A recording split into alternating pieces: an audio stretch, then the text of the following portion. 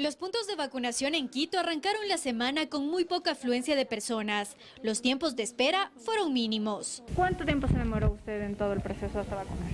Dos minutos. Esto también eh, se debe a que durante este tiempo estamos reforzando el trabajo con las empresas eh, privadas, eh, empresas públicas. Ahora uno de los objetivos de las autoridades de salud es que más niños sean inmunizados, pues hay preocupación por un incremento en los contagios de este grupo etario. Según el Ministerio de Salud, durante las últimas dos semanas, 47 pacientes menores de 12 años ingresaron a los hospitales públicos y 10 a cuidados intensivos, cifras que son similares en casas de salud del IES y también en las privadas. Pese a estas cifras, los niveles de vacunación en niños no logran elevarse.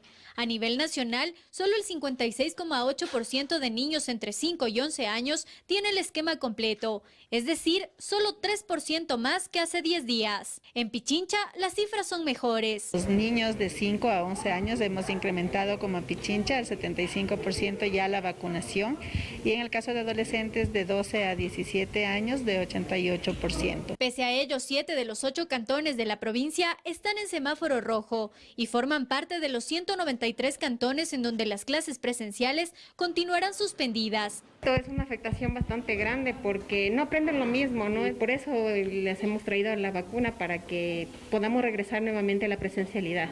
Para proteger a los más pequeños, las autoridades también anunciaron la suspensión de clases en el nivel preescolar y la vacunación a partir de febrero. Esperemos los lineamientos oficiales. En tanto, otros 26 cantones están en semáforo amarillo. Allí, las clases serán esta semana semipresenciales y solo dos están en color verde, en donde las actividades se podrán desarrollar casi con total normalidad.